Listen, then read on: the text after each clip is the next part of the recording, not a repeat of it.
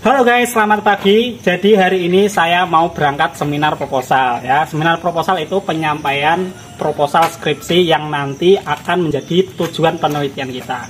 Siapa yang mau ikut saya? Ayo, ikut saya. Kita berangkat pakai motor trondol ya guys ya. Dari Purwodadi ke Semarang.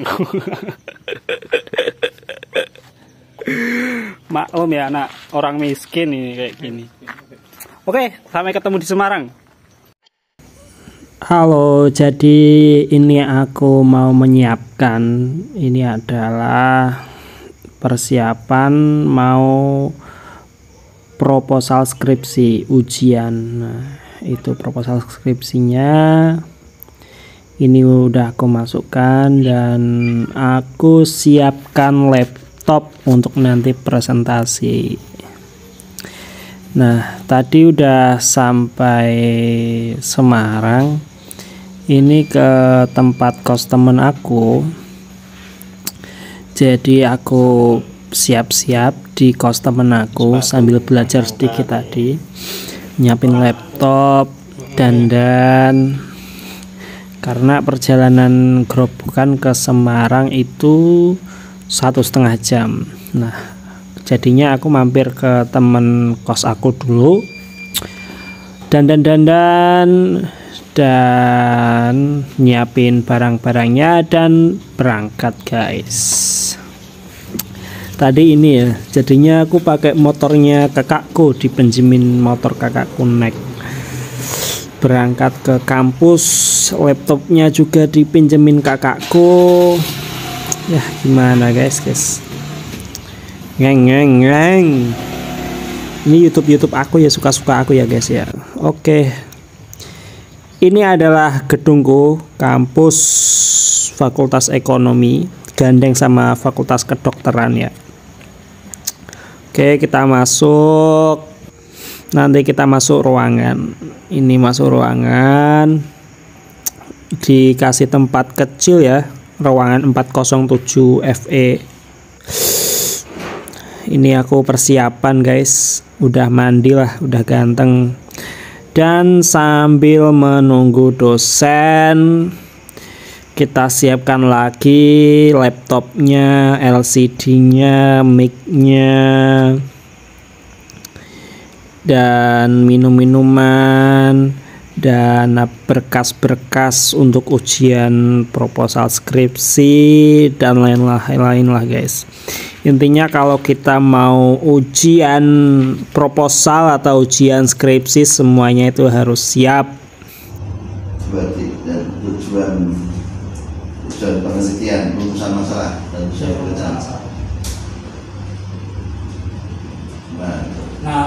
kira-kira ini satu dua tiga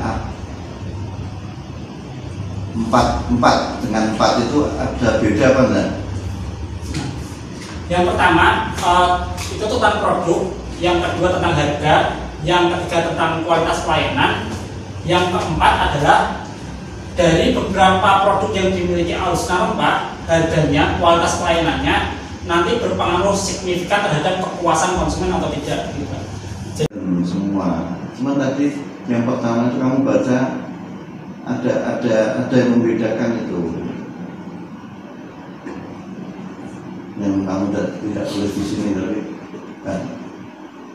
yang uji T kamu nggak nggak tulis ada ada kata kunci di situ yang yang tidak ditulis di sini yang uji F kamu tulis ada kata kuncinya yang membedakan uji T dengan uji F coba kamu baca lagi yang uji T yang